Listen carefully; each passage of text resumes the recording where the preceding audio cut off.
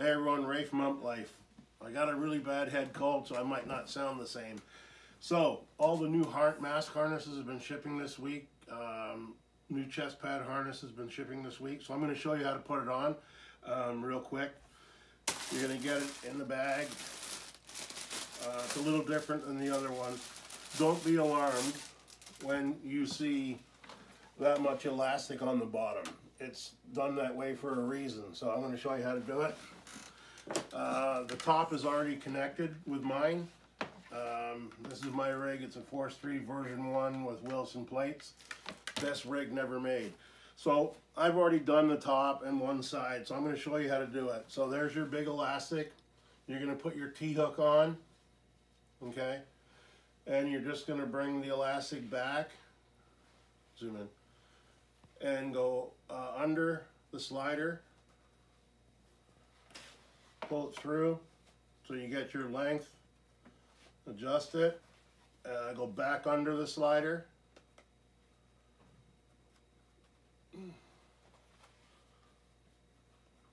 The only difference is this slider is actually sewn onto the heart, uh, the donut. So there you go. You have a lot of excess. Now to lock this up, so now you have actually two pieces of elastic giving you way more support, okay? So you take the excess and here's what I do to lock it. You go back over and under. Okay? And under. You pull it through and it locks it up. Okay? Now, it's my rig. It's built for me. I'm not sharing it with anyone. Here's what I do.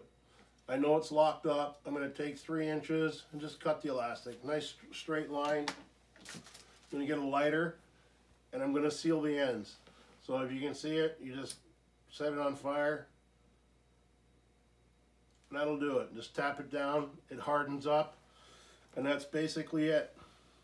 So uh, I haven't taken the uh, plastic clips off here yet, but um, that's it in a nutshell. It's all clean and looks really nice. Uh, I just have to make a little adjustment right there. So that's my rig. I haven't cut this one off yet, but you can see the tops are really nice and clean. And that Ump Attire will also be doing a video. They did a nice job on the mask harness today. Uh, Brandon Lawson, good job.